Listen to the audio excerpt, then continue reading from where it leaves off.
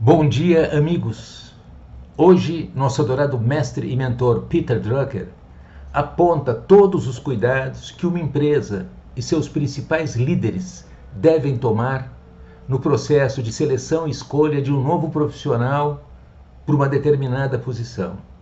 Claro, e além de considerar em primeiríssimo lugar o retrospecto dos candidatos e suas personalidades, talentos e competências, confrontar todos esses elementos com pensamento definitivo. Quais são as expectativas em relação ao seu desempenho?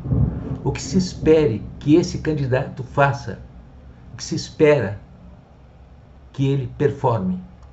Qual a missão que lhe aguarda, caso aprovado, escolhido e contratado?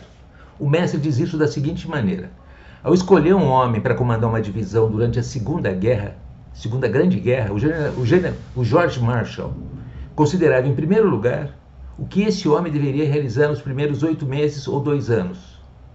Organizar e treinar uma divisão era uma coisa, liderá-la em combate, outra.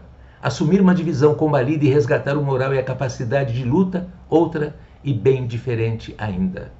Da mesma forma, e quando o desafio é selecionar um novo gerente regional de vendas, a primeira providência é definir suas principais atribuições recrutar e treinar novos vendedores, abrir novos mercados ou emprestar relevância e atualização aos velhos produtos da empresa.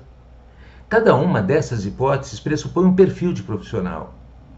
Era assim que Drucker recomendava a todos os seus clientes de consultoria quando eles estavam organizando, montando, treinando, selecionando e preparando sua equipe de vendas. Bom dia e até amanhã.